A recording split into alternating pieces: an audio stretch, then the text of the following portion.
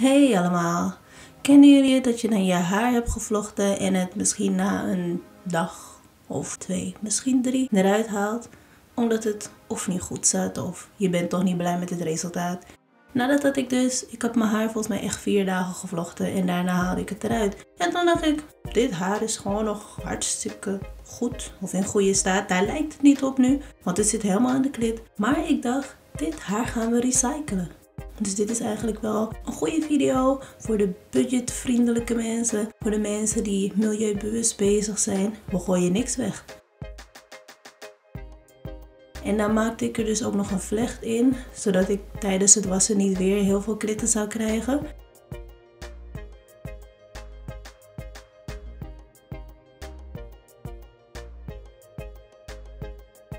En dat is dan eigenlijk wat ik met de rest van het haar ook heb gedaan. Ik ging het eerst met mijn handen wat uit elkaar halen, zodat ik, ja, zodat ik het weer een beetje in een goede lengte kreeg. De meeste klitten al eruit kon halen. Daarna dus gewoon kammen. En dit was dus expression hair. En het was gewoon lang. Helemaal niet geknipt, niks. Uiteindelijk heb ik daar dus drie vlechten van kunnen maken. En dit ga ik wassen met deze shampoo. Is ook een nieuwe shampoo voor mij. Ik denk ik probeer het gewoon even uit. De manier hoe ik het was, ja, gewoon eigenlijk even snel snel. Want ik dacht, dit haar is toch niet echt vies. Dus ik deed ja, gewoon een beetje shampoo erop en dan maakte ik een beetje knijpende beweging. Met één hand ging het niet zo soepel.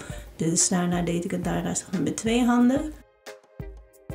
Nou, wat je me ziet doen is dus een beetje knijpende bewegingen maken. In de hoop dat de shampoo gewoon overal bij komt.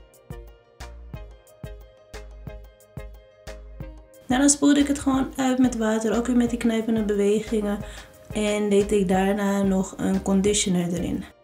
Dit is een conditioner. Ja, die deed ik erin omdat ik dacht van ja, als ik mijn eigen haar was, doe ik ook altijd conditioner erin. Dus hopelijk werkt dit ook voor dit haar. Daarna heb ik dit ook weer uitgespoeld.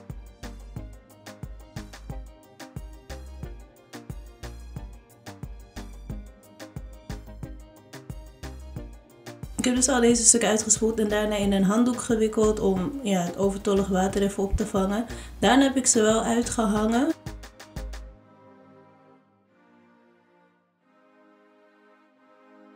Dit is weer een paar dagen later. Ik had ook nog andere oude haren gevonden. Heb ik ook gewassen. Zelfde manier alles.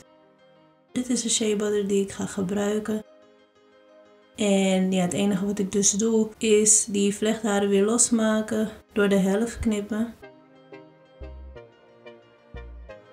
En toen had ik dus alles gevlochten, had ik alleen nog twee plukjes over. Dus daarvoor heb ik wel gewoon nieuw haar gebruikt. Maar dit was dan het resultaat. Het ziet er nu misschien niet helemaal geweldig uit, maar check nog even mijn Instagram en dan zie je wat ik hiermee heb gedaan. Bedankt voor het kijken en tot de volgende keer.